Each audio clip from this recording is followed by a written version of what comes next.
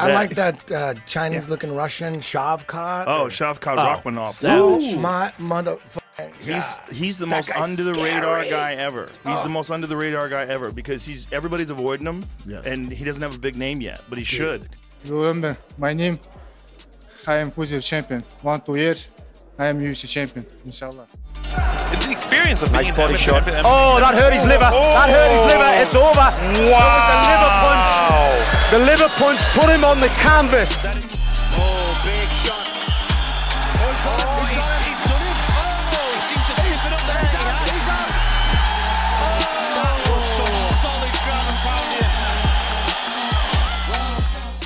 Soon, we will witness the next Octagon appearance from a young prospect whose name has long been discussed loudly in the fighting community. On December 16th at UFC 296, the formidable and undefeated Nomad, currently ranked 5th in the best welterweights on the planet, will make his return. In today's video, let's reminisce about the best performances in Shavkat's career, where he finished the fight with a fierce and brutal knockout. Please don't forget to subscribe to the channel, also like and leave a comment in four words. And now let's get started. Here we go. So the official starting point of the Kazakh warrior's journey is considered his debut fight in mid-October 2014. As time showed, his first MMA trial ended with a confident victory by a chokehold. Triangle, he's got a triangle instead. Like I said, with long legs like that, triangles are very, very good. Great awareness there. Shavkat, And he he's got taps. him. He taps. That was one opportunity he got in and he took it. It all, it's all it takes, one opportunity. The debut guy beats the 2 0. A month and a half later, eager to stay active like Dillon Danis in his only year, Shavkat stepped into the ring against Brazilian Marcus Vinicius. By that time, the latter had a record of 7 wins and 8 losses. Despite this, he still seemed to believe in his abilities and accumulated experience, as it turned out, very much in vain. Apologies for the spoiler. As usual, each match starts standing right after the referee's command. The process goes like this. Fighters slowly find their rhythm and start attacking each other, reacting to their opponent's actions. At least that's what we base it on most of the time. But this time, everything went a bit differently. As soon as the fight started, the athletes began sizing each other up, throwing feints and various tricks. And here, Nomad applied a deadly look that triggered excessive sweating in Marcus, a trigger known to Derrick Lewis an embarrassing condition called my balls was hot.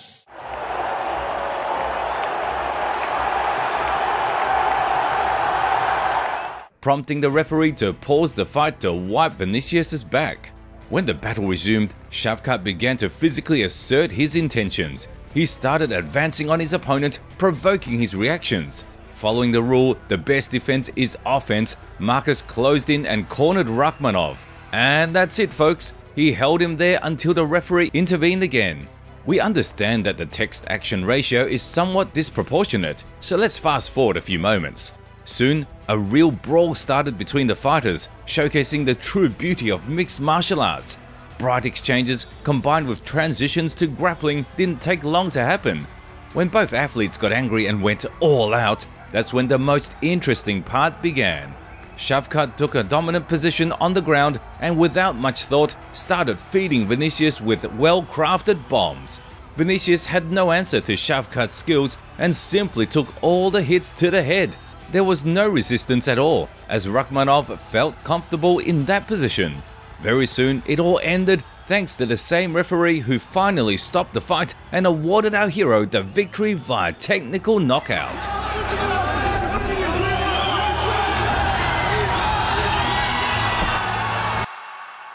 Without deviating from the course, let's move on to Nomad's third professional fight. On May 2, 2015, the emerging prospect honored the M1 organization to show how to handle guys without unnecessary formalities. He faced the world karate champion named Hulk, who at the time had a record of 5 and 1. His name was Bartosz Chirek. Interesting fact, the age difference between the fighters is 12 years, and remarkably, in terms of skill level and overall preparation, they are approximately at the same distance from each other, except for jokes, because it all extended in the middle of the round in the most cold-blooded and confident manner. After enduring a powerful takedown from the textured and muscular pole, Rakhmonov started extracting strength from the opponent's body. He immediately engaged him on the ground, turning the consequences of the takedown against Chirek. A few minutes of this symbolic but not useless scuffle completely deprived Bartos of the desire and ability to continue any competition. Rakhmonov did everything required of him in the situation and handled the task with flying colors. In a few moments, with a hard ground and pound from the top, Chirek's face flattened against the canvas, and that means we've witnessed the second knockout victory from the Kazakh fighter.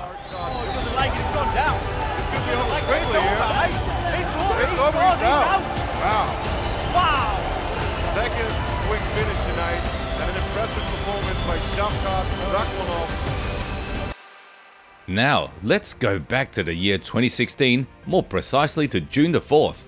By that time, Nomad's resume consisted of 5 names, to which he added 2 more victories by way of chokeholds.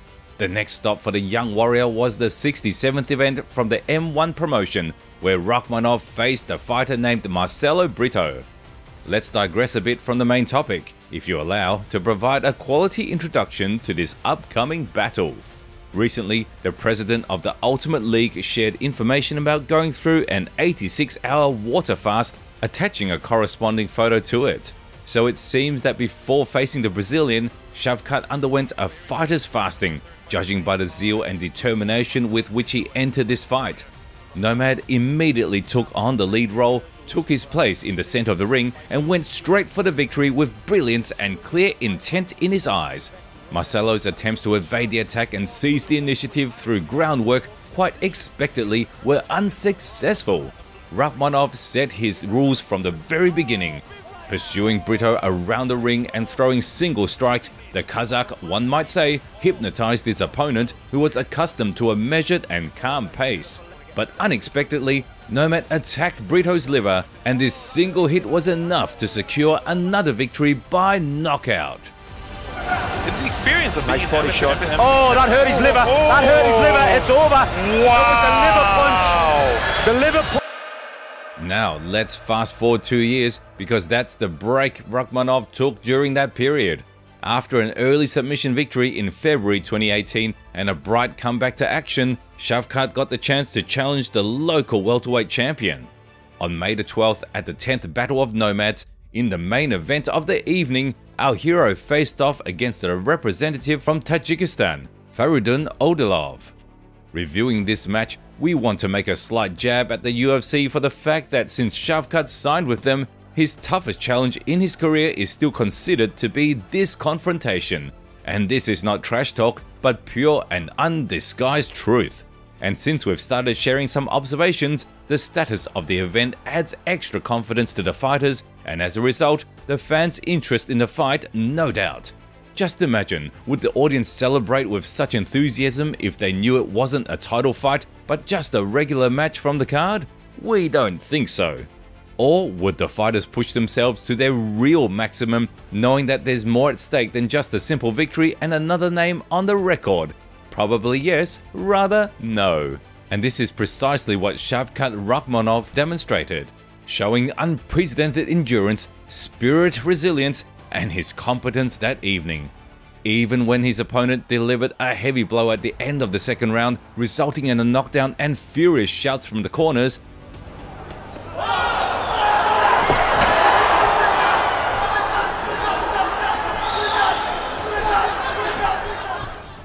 Nomad found the strength, withstood such a dangerous moment, and came back into the game in the next round. The third 5 minute period became the final one in this confrontation. As history showed, Shavkat Rakhmonov not only reversed the course of events, but literally forced circumstances to lean in his favor. Closer to the 3 minute mark, Faridun Odilov was so exhausted that he simply started running away from the Kazakh, who wanted to retaliate as impressively as possible for the episode at the end of the previous round. Thus, our hero secured his fourth victory by technical knockout in his professional career. I dedicate this victory to all Kazakhstanis, to my coach, my family, to everyone who supports me. Thank you all. Alga Kazakhstan. Kazakhstan is strong.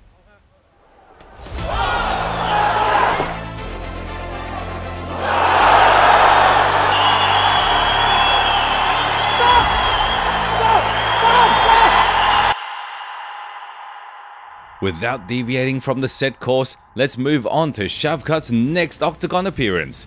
In early December of the same year, Rakhmonov, already in the status of a local organization champion, entered his first title defense at the 11th Battle of the Nomads. His Jubilee opponent was a native of Kyrgyzstan, Rinat Saikbayev. Judging by the footage available to us thanks to the internet, the first and sorry for another spoiler and only defense of the Kazakh Terminator's championship belt went as well as possible. Shavkat Rakhmonov dominated his opponent in every proposed aspect, gave him a detailed tour of all the corners of the ground, and in essence secured his 10th victory in a premature manner, four years into his professional career. The official verdict that concluded this encounter was a technical knockout, as Saikbayev refused to continue the fight. Nomad was already too much for the local guys back then, but it was only the beginning. As you have already learned, the first title defense at the Battle of Nomads became the last for the rising prospect from Kazakhstan. This happened because the M1 organization, which is not mentioned for the first time today, offered Rakhmonov to challenge their welterweight championship. On March the 30th, 2019, Shavkat entered his 11th professional fight and, as part of the 101st numbered event, faced a fighter named Danila Prikaza. This time we won't beat around the bush and get straight to the point. The first round of the main event started quite dynamically, Various kicks, setups and combinations were in play from both sides. Both fighters, being fresh, tried to impose their will on the opponent standing in front of them. Yet the more skillful in technique was the Kazakh. Closer to the middle of the round, Rakhmonov cornered the Russian against the ropes and immediately connected significant knees, causing pain in the torso area. Although Prikaza did everything to resist and offered due resistance, Shavkat still held initiative. Despite feeling his superiority at close range, Rakhmonov was also not against breaking away for a while and, to the cheer of the audience, engaging in a short exchange with his counterpart. However, this didn't last long, and the end of the 5 minute round passed under the same pressure against the cage in the clinch. In the next segment, the Kazakh Terminator increased the already high pace and then without any hesitation or second thoughts, took the Russian to the ground. Gradually, he began to systematically break down Danila into the smallest details, like a seasoned technician with years of experience. A backward hammer fist and the elbow caught him on the way past. Prikaza has to do something. With each subsequent minute, Prikaza's position deteriorated more and more, and ultimately Shavkat Rakhmonov overwhelmed his opponent, pounding him into a semi-conscious state the 11th premature victory in his professional career, the 6th by technical knockout, and as the cherry on top, another belt conquest in a new organization. I want to thank everyone present here, all Kazakhs, our president. I want to thank you all very much. I will move on. I will continue to raise our flag on the world arenas. May Allah grant us health.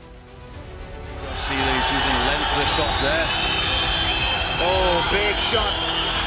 Oh, he's got oh, He's, he's, he's done it. Oh, he seemed to stiffen up there. He's he out. Has. He's out. Oh, that was some solid ground and pound here. Well, the next knockout on Nomad's path, a decisive outcome that leaves no room for the judges, came three months later at M1's 102nd numbered event.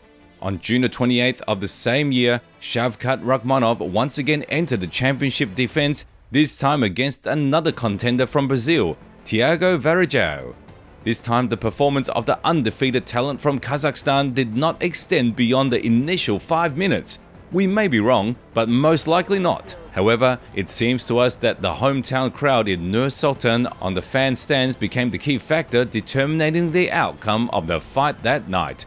The genuine support of loyal fans led in a chain reaction to all circumstances aligning in such a way that the champion entered the bout with a single mindset to kill or be killed.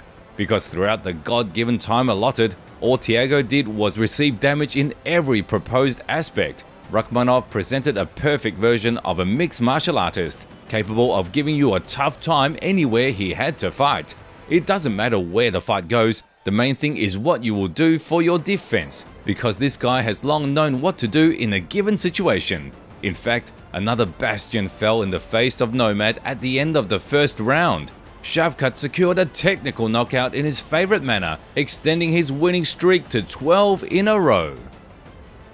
We raised the Kazakh flag everywhere, and I'm proud of it. Thanks to everyone who helped me prepare for this fight. To my coach, to everyone who helped, thank you very much. And to conclude today's episode, let's recall the latest knockout victory from the undefeated warrior from Kazakhstan. Soon after defeating the Brazilian, Shavkat Rakhmonov caught the interest of the Ultimate Fighting Championship and its matchmakers in particular. Admit it, it's not every day you come across a young and hungry prospect on a 12 fight win streak. Moreover, a two time champion of local organizations in his homeland with successful title defenses. UFC also recognized this and signed the talent in the largest MMA promotion. As you may remember, Nomad's debut came during the times of the pandemic. However, despite all the difficulties, this guy burst into the new league in the best possible way, continuing the trend of victories and a pathological unwillingness to leave decisions to the judges. After two successful performances, ending in submissions in the early rounds, Shavkat Rakhmonov faced Carlston Harris on February the 5th, 2022. Uh, yeah, absolutely. Uh, I feel it like, like everything uh, uh going uh, higher that I, the the media focus on me right now. Uh, but you know, I'm ready for this too because I know my goals and I'm ready for this too. That if you want to go too high, you need to be ready for this too. Here we will say it straight and without any lyrical digressions. The third victory in the UFC didn't take long the Kazakh Terminator dominated on his counterpart in just under one round, first dropping him with a spinning heel kick and then finishing him off in a spectacular manner. Another technical knockout and a confident rise in the rankings of the welterweight division. You know, he fought many tough opponents and no one finished him. I was able to do it. I don't know, it's gonna be UFC's decision, but I'm ready for the title shot. And if it's gonna be in Abu Dhabi, it's gonna be beautiful. Oh! Spin kick sets him down. And now trying to end it. Big ground and pound here. Harris. Oh! That's gonna do it. Another one. Shavkat. At the moment, Shavkat Rakhmonov is firmly entrenched in the top 5 of the welterweight division. Like a cool-headed and patient hunter, he has started waiting for the next name to appear on the horizon, which can be added to his service record it has become somewhat amusing. With a record of 17 premature victories, Nomad has 8 knockouts and 9 submissions. It seems that with each Octagon appearance, he decides on the go how to finish the encounter, still not giving opportunities to the judges. In general, the return of this guy to the main Octagon is expected soon, and we eagerly await that day.